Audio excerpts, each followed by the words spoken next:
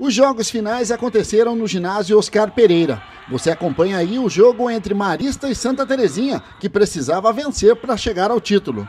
Porém, as meninas do Marista souberam suportar a pressão adversária para chegar à vitória por 17 a 11 e conquistar a medalha de ouro do grupo 4 para atletas com 13 e 14 anos de idade. É um trabalho já de alguns anos que a gente vem fazendo onde começou a aparecer os resultados.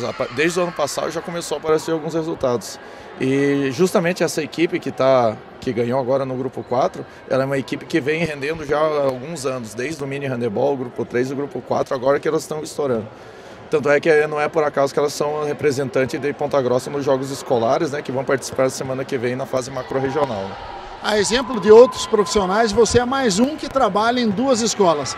Ao mesmo tempo, o Colégio Cepan vai muito bem no handebol masculino, né? Dando o seu recado aqui no GEM também. Sim, é, o Colégio Cepan também é o mesmo trabalho, porque é eu que estou trabalhando, que nem eu falo para elas. O trabalho é o mesmo. Eu falei, aí vai depender do interesse e do comprometimento de cada um para ter o resultado.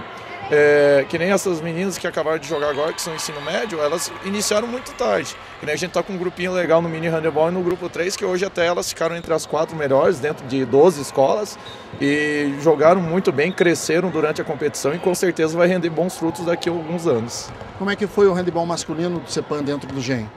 Ah, do, dentro do GEM, foi um, eu acredito que foi bom, porque eles conseguiram estar sempre entre as três escolas, entre os três lugares, é, em todos os grupos, que nem no grupo 2 a gente foi vice-campeão, no grupo 3 acabou sendo campeão hoje de manhã, no grupo 4 foi vice-campeão e no grupo 5 vai acabar ficando em terceiro lugar.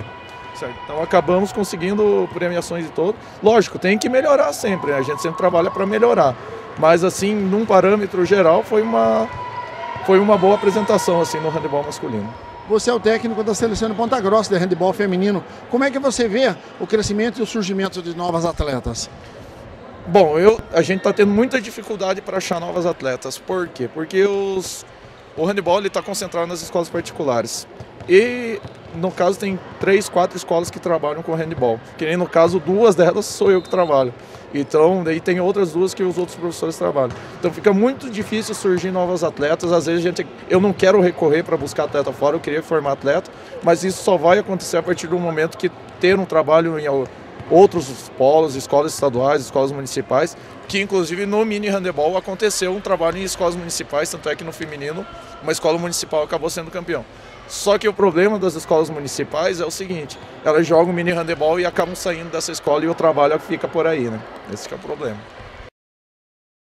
A Job é uma empresa de recursos humanos que trabalha com recrutamento e seleção de profissionais e terceirização de serviços. Colocação ou recolocação no mercado de trabalho, cadastre seu currículo gratuitamente no site www.rhjob.com.br ou compareça na empresa.